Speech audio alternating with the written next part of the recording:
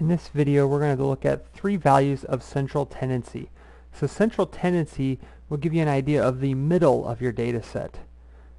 So the three we're going to discuss here are called mean, median, and mode.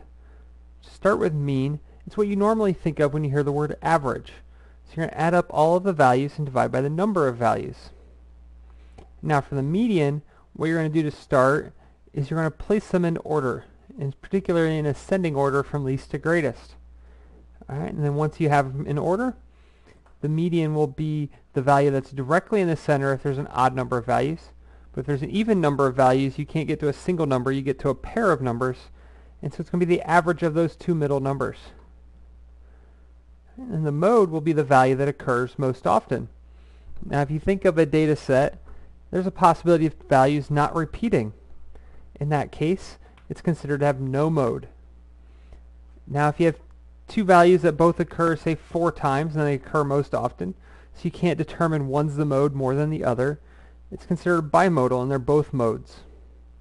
And you can have that occur with three or more values as well, and then it's called multimodal. So we take that information and look at an example. We have data from a class, and the number of pages read by the students was 86, 84, 83, 84, 83, 86, 86, and 84.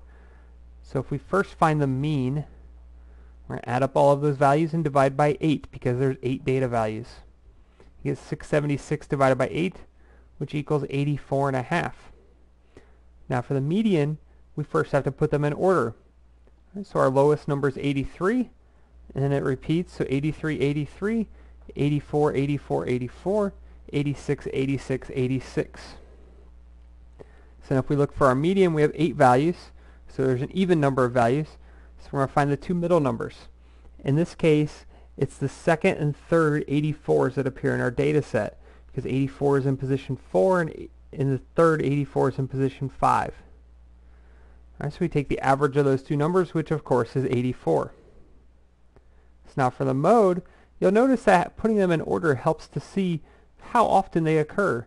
So for example, 83 occurs twice, 84 occurs three times, and 86 occurs three times. Right, so the mode is the one that occurs most often. 84 and 86 are tied with three occurrences. So this is going to be called bimodal with modes 84 and 86.